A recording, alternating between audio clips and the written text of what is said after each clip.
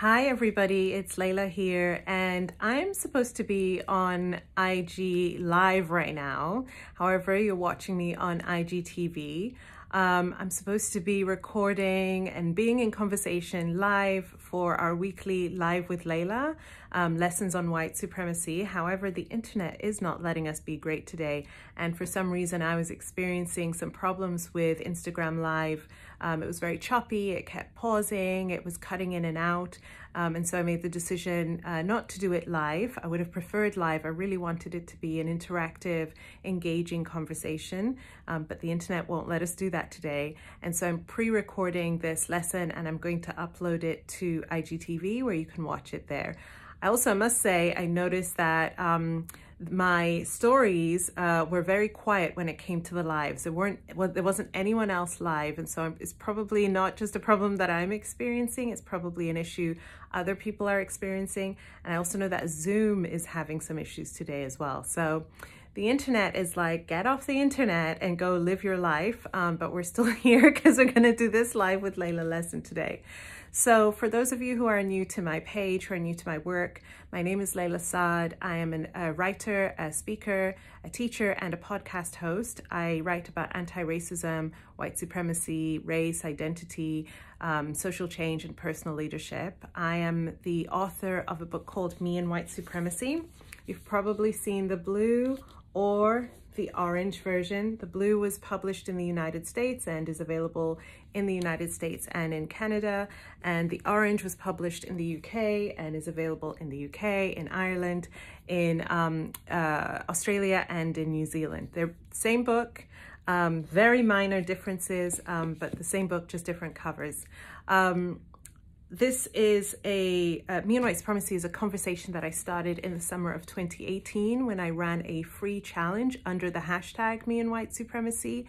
And I walked people who have white privilege th through a 28 day process to examine their white privilege and to examine and understand and unpack and dismantle their complicity within white supremacy. That um, free challenge, which um, thousands of people took part in, I then turned into a free digital workbook, a PDF workbook that I published at the end of 2018 in the space of excuse me, six months. That book was um, downloaded by almost 100,000 people, and it is now a traditionally published hardcover book, as well as an ebook and an audiobook, and it is also a New York Times bestseller, a USA Today bestseller, Wall Street Journal bestseller, and an Amazon bestseller too. Um, and so every Sunday, I hop on IG Live or Instagram Live to teach a, um, a lesson on white supremacy, picking from both my work through me and white supremacy and things that I'm seeing either on my page or out in the world, um, where I think it's really important for us to examine deeper the ways that white supremacy is functioning and therefore how we can interrupt it and dismantle it. Dismantle it. Um, today, what I'm focused on is a lesson called Why Whiteness Must Be Named. And the context of this conversation is actually a post that happened um, about five days ago on the page, uh, an account called The Conscious Kid. The Conscious Kid. I highly recommend following it, especially if you're a parent or you work with children. It's an incredible um, uh, page run by a husband and wife team, and they provide amazing resources for um, anti-racism education and um, liter literacy and literature, especially as it relates to raising children, working with children. Um, and so if, if that's something that, you know, you're a parent or a teacher, an educator, you work with kids, or just somebody who really wants to understand, you know, um, uh, how we can have these conversations with young people and what we need to understand as adults, highly, highly recommend this page. I have gotten so much um, from the education that they put out there into the world. I've also interviewed um, one half, the husband of uh, the Conscious Kid, one half of the Conscious Kid on the Good Ancestor podcast, which is my, uh, which is my podcast. It's an incredible conversation. Really, really recommend it. So the context of today's live is that about five days ago, the Conscious Kid posted a, um, a set of slides um, about white culture. And they were um, uh, uh, quoting or referencing the work of a scholar called Judith H. Katz. And it was very much, it wasn't an opinion piece, it wasn't a conversational piece, it was slides that were directly quoting um, what this scholar Judith H. Katz um, had, ways in which she'd broken down what white culture is. She looked at things like um, family, um, justice, um, I have a couple of things written down, um, holidays, history, um, time, work ethic, communication, justice. So ways in which these different areas are, um, how do they show up in what white culture or how are they defined and understood in white culture? Now, I saw the post, and as somebody who has been in this work since 2017, has been talking about anti racism since 2017 online on social media, um, something that I know is that whiteness hates to be named.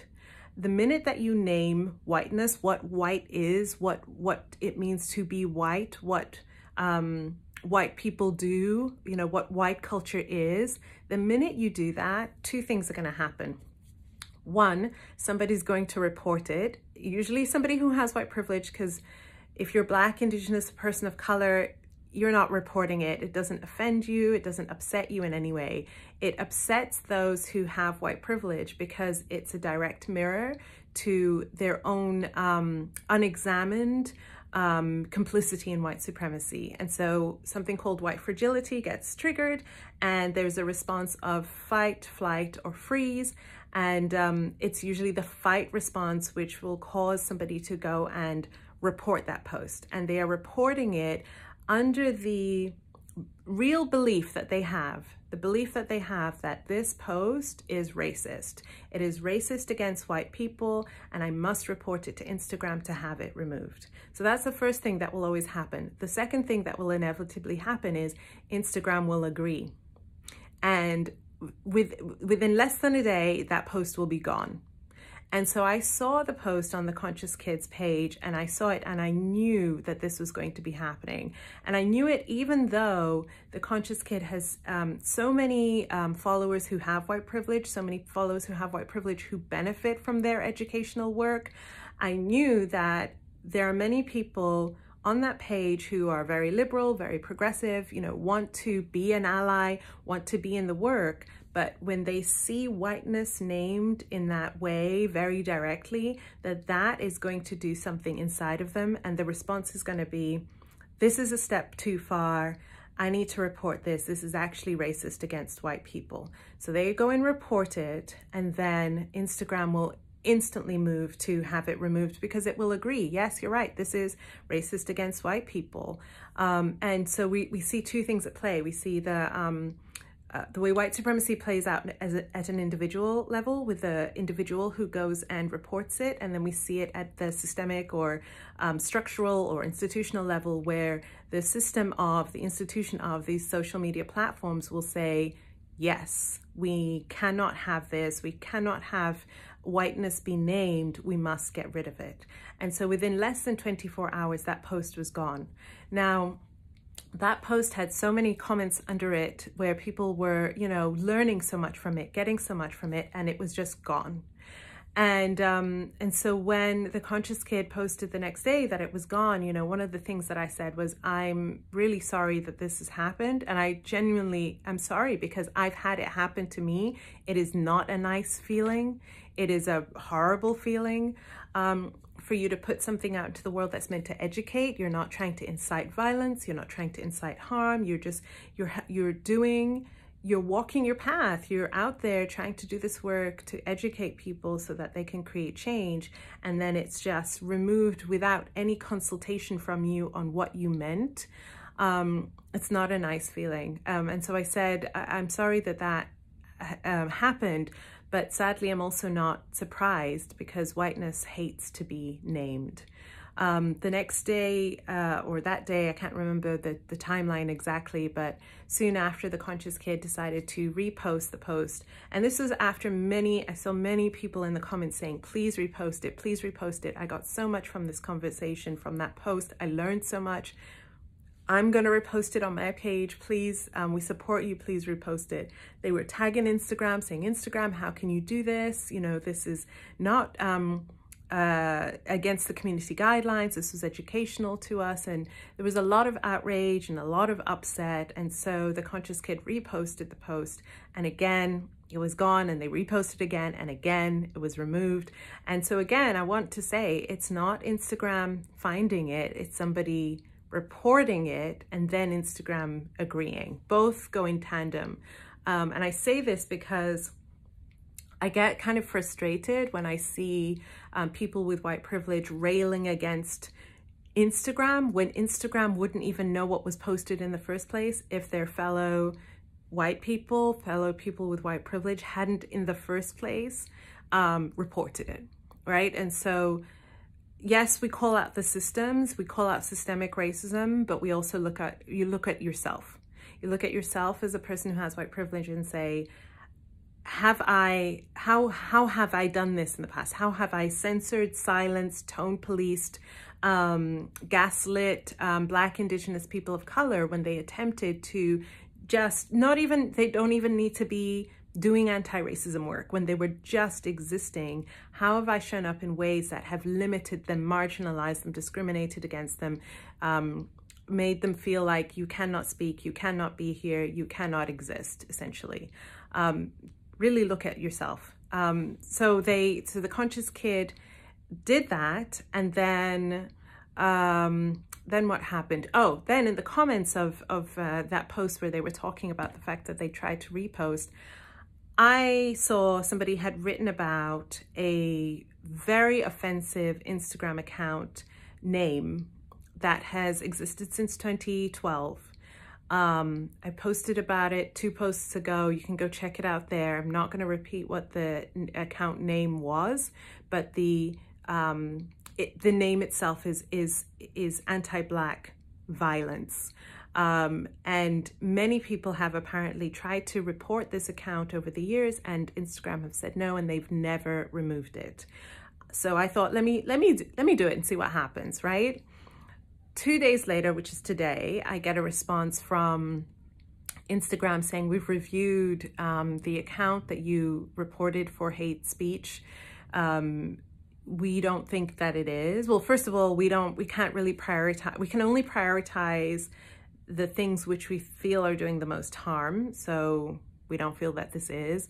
And secondly, we just don't see it as against our community guidelines. So if it we're going to keep the account there if it offends you you can block them mute them unfollow them but they're still going to exist so what this uh, what this tells us is that it's okay for an account to exist which shouldn't th this person who created this account should not have even been able to type in the letters that they typed into this account um, that's okay for that to exist anti-black violence um, inciting violence against Black bodies, that's okay.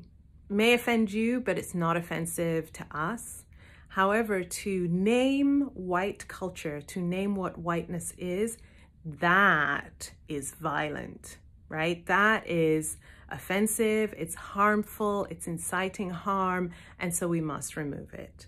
And so I wanted to have a conversation today because this is something that this is the work that I do. I have a, a, book, a process called Me and White Supremacy. My work is very much about talking about whiteness and white supremacy in very direct and honest and truthful ways. Um, I really truly believe we can't dismantle something that we don't understand. In fact, um, in the opening of my book, is it the opening or the closing? Yeah, so in the US book, you'll see this. You won't see it in the UK one. Um, it says you cannot, what is it? You cannot dismantle what you cannot see. You cannot challenge what you do, what you do not understand. The reasons why we have to name whiteness and white supremacy is that if we don't do it, then we don't know what we're actually, what are we actually dismantling if we don't actually know what it is. And this is why that post by the Conscious Kid was so important because we have to understand what whiteness is. So I want to talk about three things today. I want to talk about what is whiteness. I want to talk about why doesn't whiteness want to be named?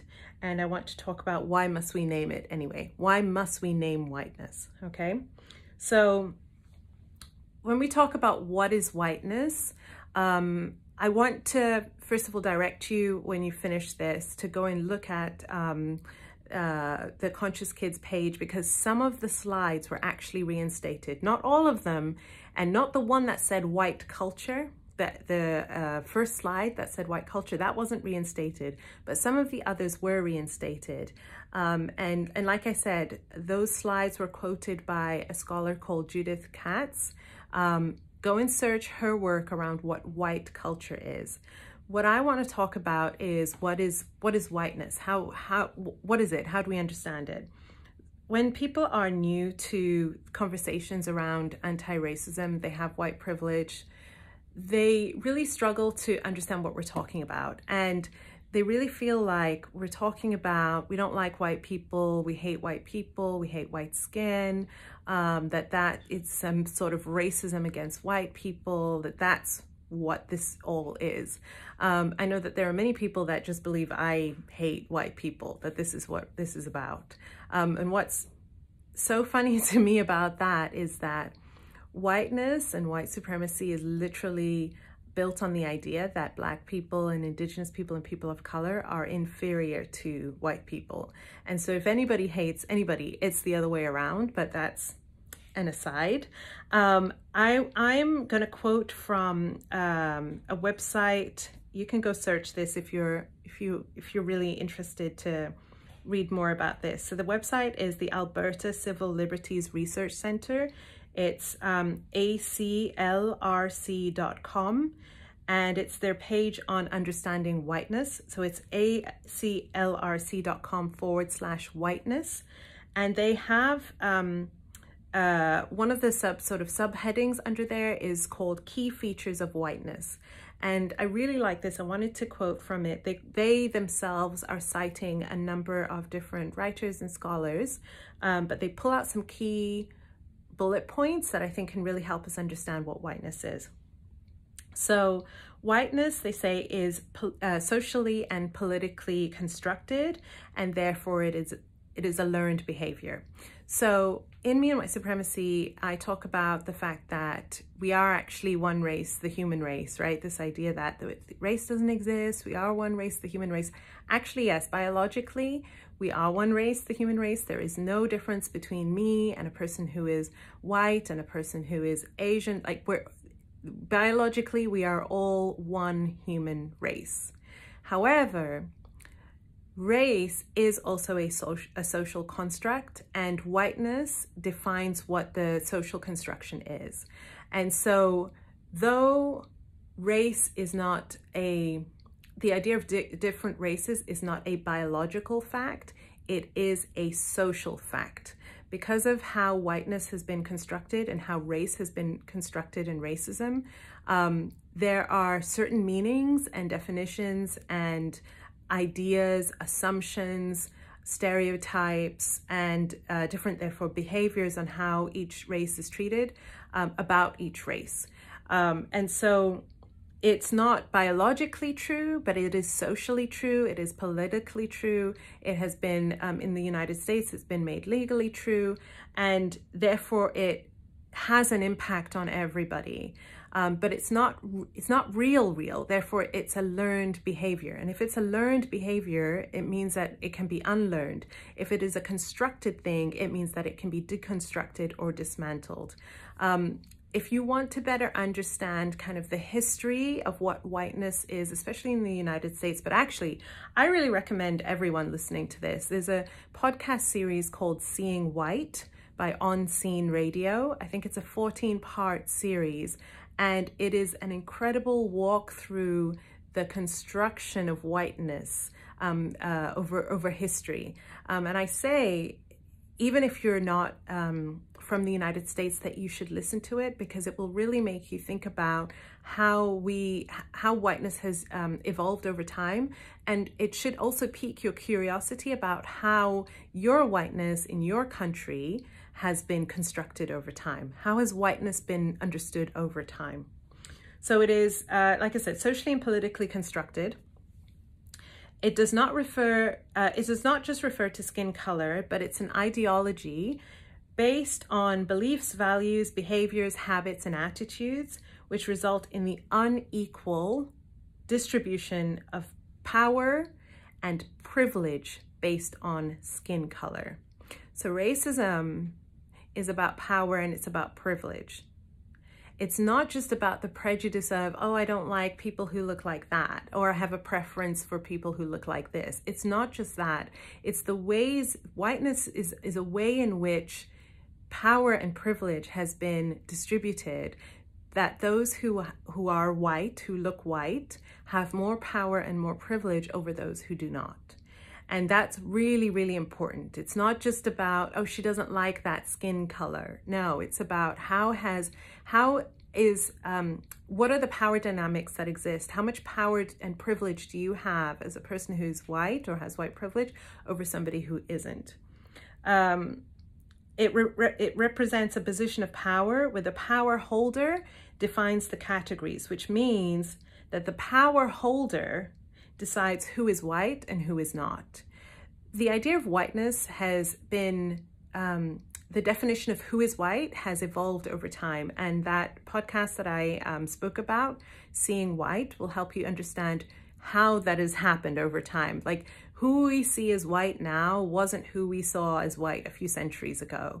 That that is, it's been defined and then redefined and then redefined to what we see now in um, the 21st century is what whiteness means. The important thing to remember, however, is that right now, if you look, if you are white, you have a certain amount of privilege and power over people who do not.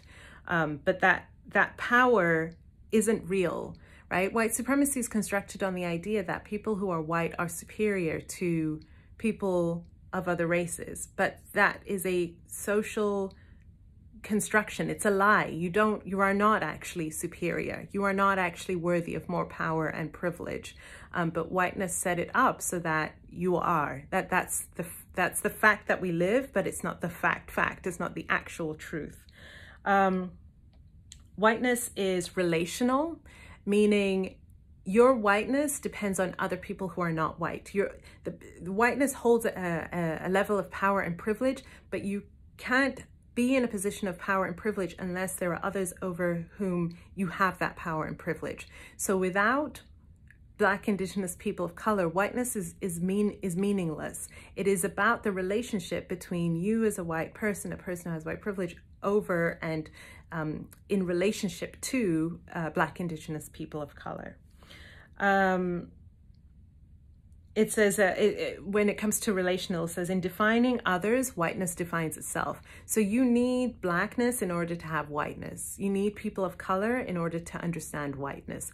The only way that you are superior is because you have decided that other people are inferior. Um, it is fluid. Like I said, it changes. Who is considered white has changed over time. Um, and this is really important. It's a state of unconsciousness. Um, it's often invisible to, to white people. So for me, as a, as a black um, woman, I, I've always had to understand what who white people are, what whiteness is, because growing up in dominant culture, living, you know, being in dominant culture has always meant as a black person, not holding white privilege, that I had to be able to navigate whiteness. I had to uh, be able to navigate a world in which I'm going to be treated as if I'm inferior, lesser than, of lesser value, um, uh, you know, basically inferior in all ways. I have had to understand whiteness for my own survival, um, for, just for me to live. White people, people who have white privilege, do not have to do that. And so white people often don't know that they are white or what being white means. White people are often very uncomfortable talking about their whiteness. And we're going to talk about that in the next point. I just want to run through this, but it's important that you understand that whiteness is often invisible to white people and that this perpetuates a lack of knowledge or understanding of difference, which is a root cause of oppression. So if you can't understand what your whiteness is, how can you understand what oppression means, right? This is where we go back to the idea of what is racism, that there's a, such a thing as uh, reverse racism or this idea that you can be racist towards white people. If you don't understand the construction of whiteness and how it's really about power and privilege over Black, Indigenous people of color, then you can't understand what the root of oppression is. Um, and then uh, lastly, it says um, it shapes how white people view themselves and view others. And it places white people in a place of structural advantage where white cultural norms and practices go unnamed and unquestioned. So you are placed in structural advantage. So systemic, structurally, institutionally, you are not just seen as superior, but given advantages, privileges as if you are superior. And that and that is at the expense of everybody else. You don't get it you don't get more privileges and we just stay the same. No, it comes at the extent at the sorry, at the expense of black indigenous uh, people of color.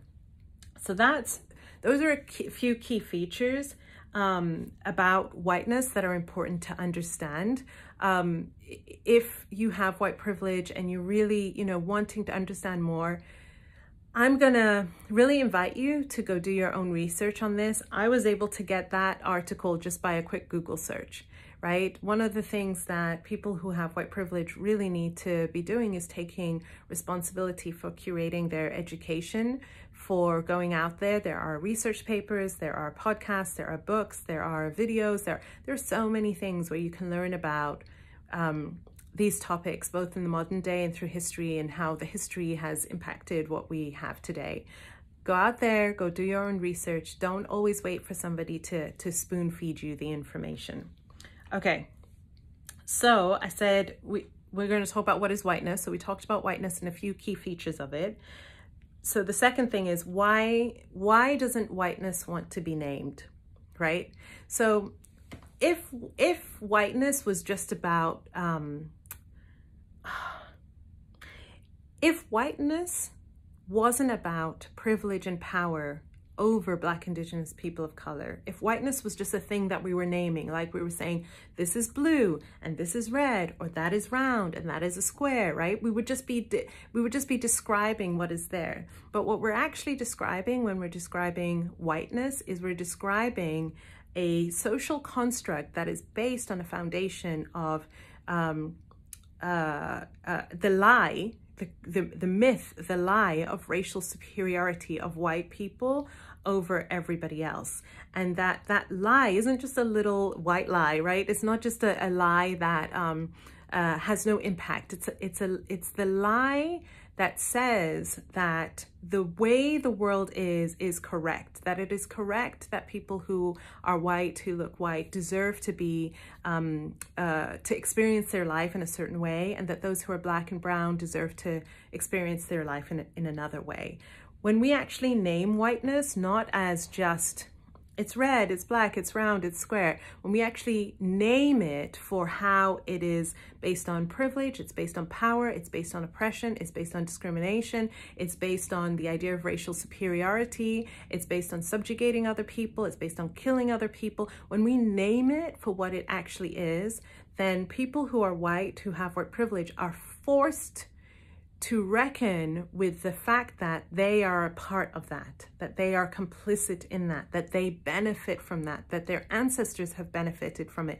that their children will benefit from it, that it that racism is not just about as um, Peggy McIntosh, the um, author of The Invisible Knapsack and the, the person who coined white privilege, it's not just about individual acts of meanness, but it's actually about a whole system that is designed to confer advantages to people who are white and, and to disadvantage people who are not, right? As when we name whiteness, you actually have to reckon with that it's not there it's not those white people it's not it's not something that's separate to me it's me it's what i live it's who i am um, it's what my ancestors have lived. It's what my children and my descendants will live. It's what it, I'm up to my eyeballs in it. I don't know how to break out of it. Um, and that everything in my life has been informed by it, right? That is a, a big realization to have to come to. And one of the ways that I, you know, there's different ways as somebody uh, who's a black woman who does anti-racism work, I've had to find different ways in order for me to like continue, like stay, um, to not get so consumed with exhaustion and anger and grief in this work, one of the things that I've had to do is to put, is to try to, I can't do it, but to try to put myself in the shoes of somebody who is white who may be coming into the realization of their whiteness. And the way that um, uh, I sometimes uh, can like think about it in my mind is I think about when everybody thought that the world was flat and then theories were coming out about the world being round. And you know it was if you believe that you were a heretic. You were out of your mind. How can it be round? We can all see it's flat. Everything that we believe our entire society everything that we understand about how we live says the world, the earth is, is flat. So for you to come and say the world is round, I mean, you're out of your mind. Like everyone knows it's not true, right? That's the way I think about how when people who are white, who have white privilege are coming into this, these conversations is that they are the flat earthers and we're telling them the world is round, right? We're telling, they are, no, everybody gets treated the same. Racism is just something that bad people do. Um, for the most part, we don't have a racist world. We don't have a racist society. Structural racism doesn't exist. Systemic racism doesn't exist. Um, if it happens, it's a rare occasion or it's because of somebody in that system who is just individually racist. But we don't live in a racist world. We don't live in a white supremacist world. Um, the more that we name it, the more that they have to reckon with the fact that I have had like you know, my eyes like this, you know, um, co completely covered.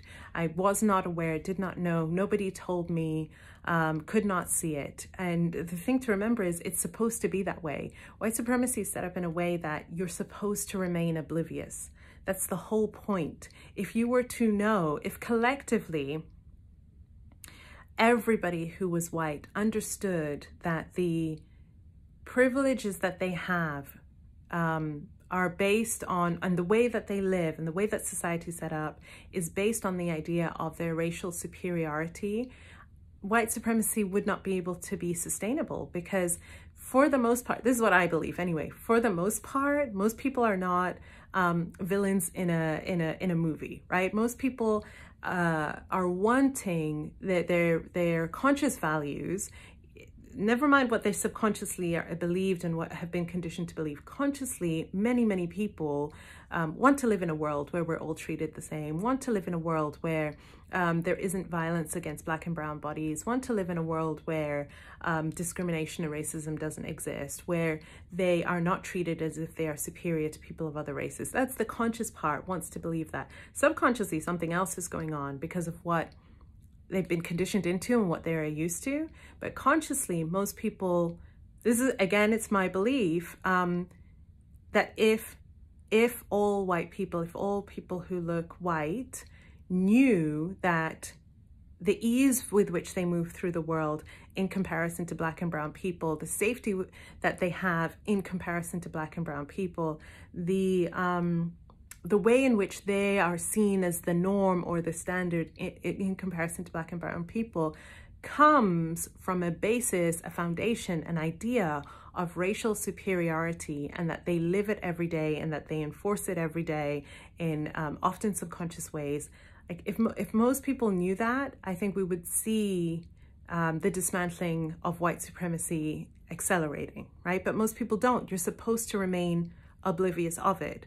So taking us back to um, what happened with the Conscious Kids post, you know, that censoring of that post, that um, uh, reporting of it, and then the um, censoring of it by Instagram is very deliberate. It is, it is, it is not necessarily conscious, but it is definitely baked into what white supremacy says, which is that we can't name whiteness because if we name whiteness, then we have to admit to what whiteness is doing, has always done, what it is, and how we're complicit in it. And then we would be forced to have to reckon with it, and we would be forced to make some, some changes, some really not small changes, some entire changes to how we live and how we relate to one another and who gets what and how people get treated. And we don't want to do that. And so we need to shut it down. We need to censor posts like these. We need to limit the posts of anti-racist speakers and writers. We need to um, uh, really, you know, find ways to um, uh, yeah, to limit the word getting out, basically, to minimize the word getting out. And that's why, I mean, for me personally, why I'm so grateful that a book like Me and White Supremacy is not only out in the world, but it is on these bestseller lists because what it says is that these conversations are, um, are, uh, uh, in the in the time that we're in right now, that people, that more and more people are willing to have this conversation in a more direct way. It doesn't mean that we then say, "Oh, okay, things are changing now, so we can we can um, take the the foot off the pedal." We haven't even pushed the foot down on the pedal yet. Um, these kind of works of all anti-racism teachers, speakers, writers need to be the mainstream everywhere. Um, but for the most part, white supremacy will try to limit it. And that's the white supremacy that's in individual people that says we can't name whiteness. I can't name whiteness. I can't face what it means to be white. And the system, systems in this um, uh, context, we're talking about Instagram, but the systems could be schools um, uh, and the kind of um, yeah, schools and colleges, universities. Um, it could be at work, you know, in nonprofits, in corporations. Um, it could be in church or uh, worship spaces. It could be in event spaces. It could be, it could be anywhere, media, press, right? Anywhere and everywhere. Um, these institutions, these spaces where people have not only the you not only have individuals who are enforcing racial superiority and and the power and privilege of whiteness, but you also have the systems that's baked into the system itself uh, and how that's enforced. Um, and so that that's why whiteness is so afraid to be named, because if you were to name it, then you would have to deal with it.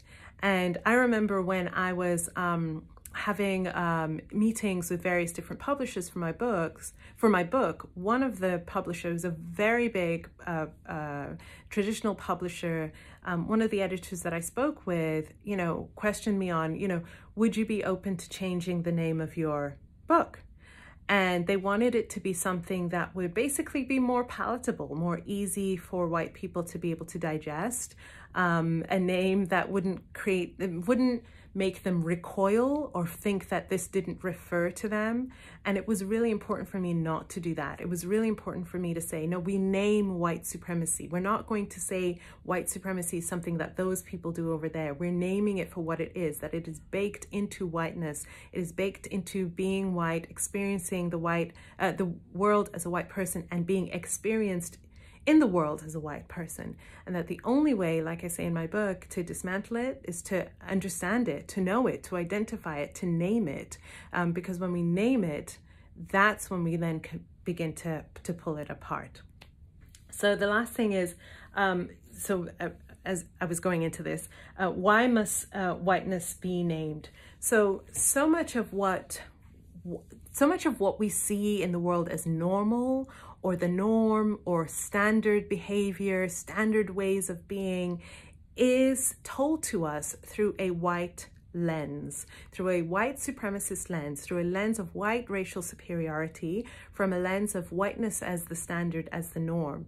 And this is why the Conscious Kids post is so important because it's naming to us what white culture is. Because white culture is um, we are all told that white culture is the norm and it's also the cultural norms that we should all be striving towards. It's the the idea of a whole person is a white person, right? So I, I just give you an example. I've got my hair out today and my afro, right? I had, um, I had straightened my hair from when I was, I think, nine years old up until just a few years ago. My hair was chemically straightened straight, right? It's always been straight my whole life.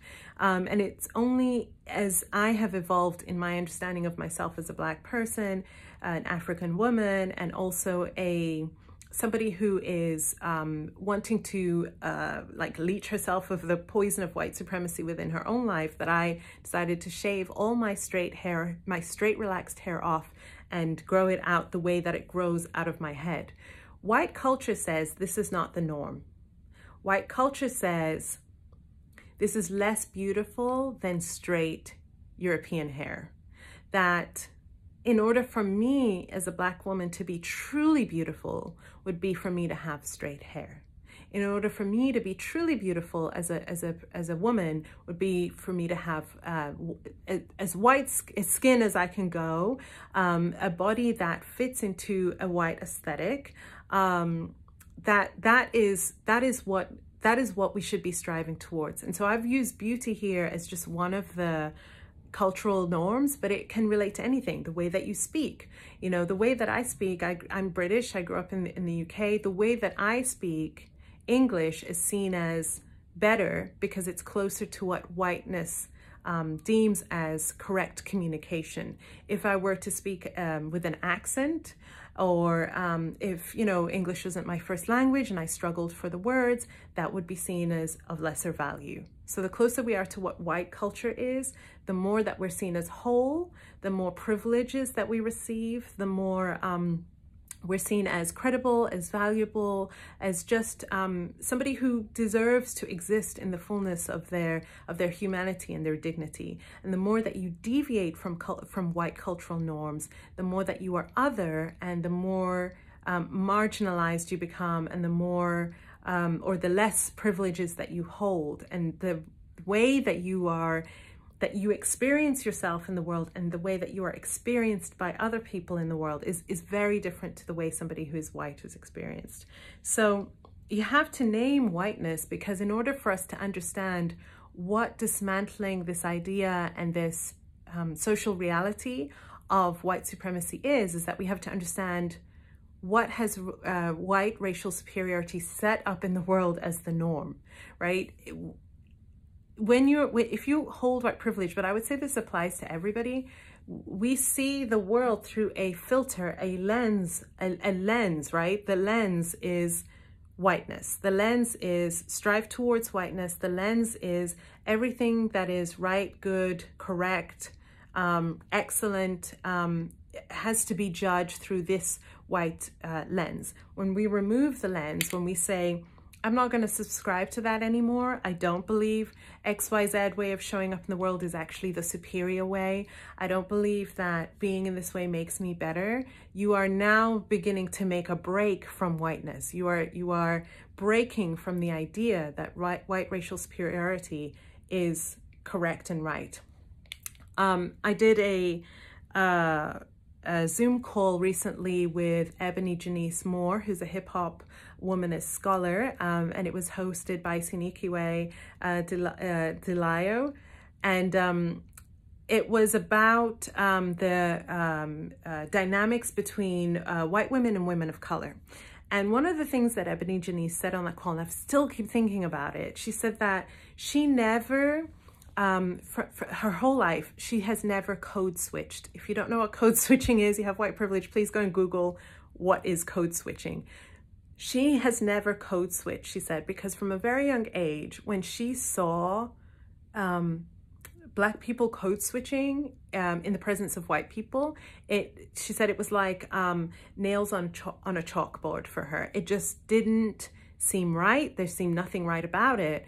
But, and this is the part that really st struck me, she said, I didn't see white people having to code switch for us. So I couldn't understand why we should have to code switch for them, right? Code switching is a way in which um, black, brown people have been taught this is the way that you can exist in the world in white spaces when white people are around so that you can feel safe, so that, so that you can feel accepted, validated, so you can have permission to, to be there is to code switch. But white people, when they are in the presence of black and brown people, don't receive that same message because the lens is I am white, therefore I am the standard. I don't have to shift myself in any way. I don't need to change anything about myself. You have to shift to meet me, but I will never have to shift to meet you. That is what whiteness says.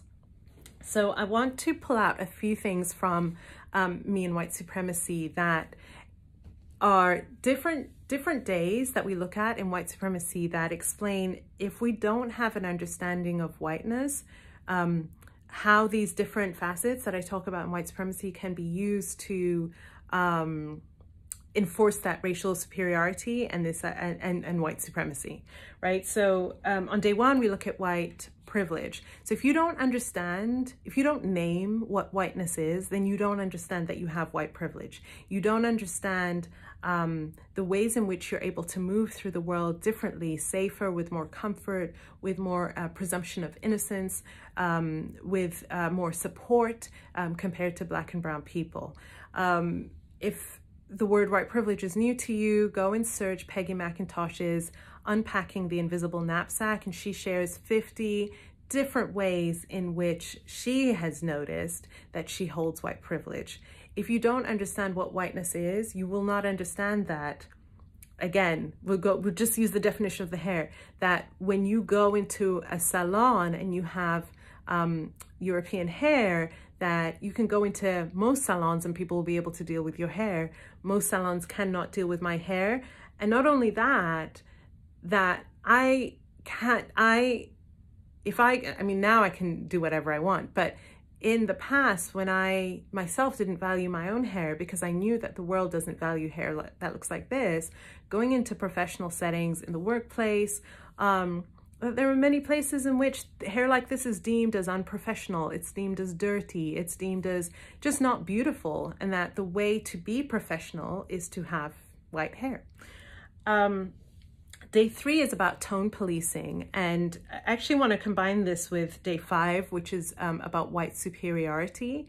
And whiteness says that the correct way of talking, the correct way of communicating and expressing yourself is in a white way. What I mean by white way, I mean you should be respectable.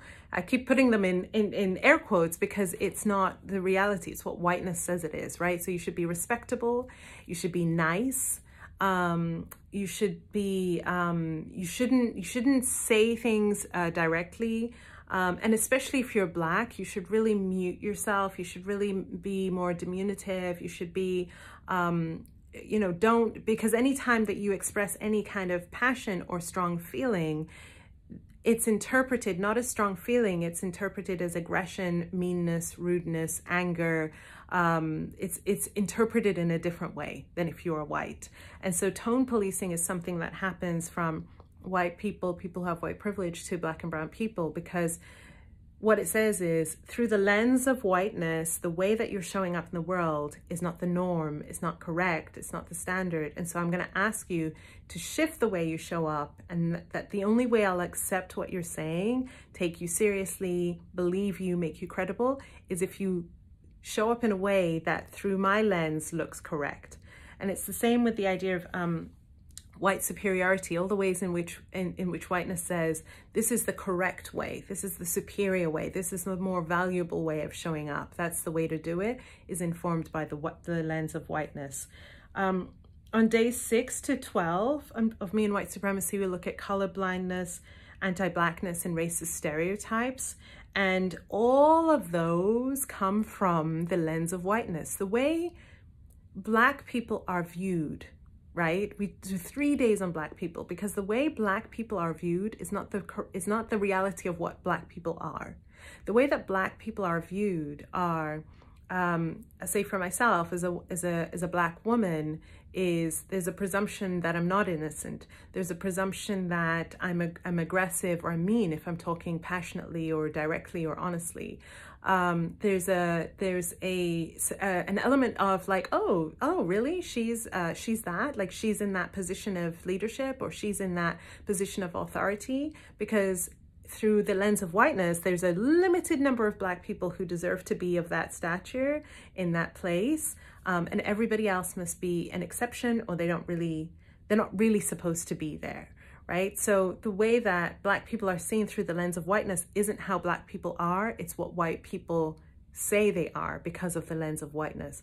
And so when we see the horrors of black people being shot, murdered, killed, um, when we see in the workplace um, black people being um, racially aggressed, um, assaulted, hurt, harmed emotionally, um, this comes from this idea that black people are are worthless in through the eyes of whiteness except to the extent that they can move in ways in which whiteness will say this is acceptable. You're acceptable now because you did this.